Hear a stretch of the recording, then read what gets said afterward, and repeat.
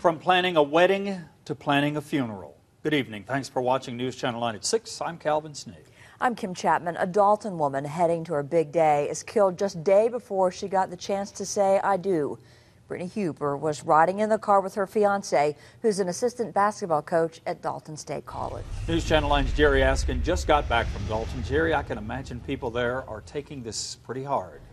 Yeah, Kim and Calvin, they sure are. The couple was heading to Mobile, their hometown, to get ready for their wedding on Saturday, but tragedy stopped those plans short.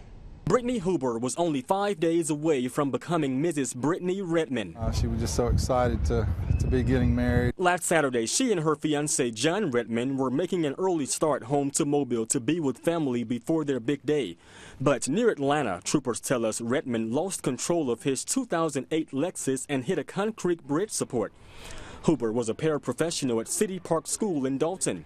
Her principal saw her at the school the same day she died. You know, they're going to have an experience that changes their life and, and have something like that uh, take place. Uh, it's just tragic. The young couple had just moved to Dalton last year after Redman took a job as an assistant basketball coach at Dalton State. This is by far the most tragic thing that has happened to our young athletic department. Athletic director Derek Waugh has been at the hospital next to Redman for the past two days. Today, he made his way back to Dalton and told us Redman is doing better after suffering from broken ribs and a fracture to his head. I knew the wedding was going to be huge. Um, and we had talked about that, and I know it was something that they were really looking forward to. But that wedding will never happen this week.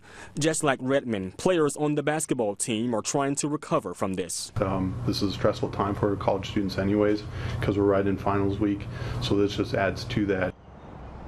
And troopers say Redman was driving too fast for conditions. We're told charges are pending. We'll keep you all posted on John Redman's recovery.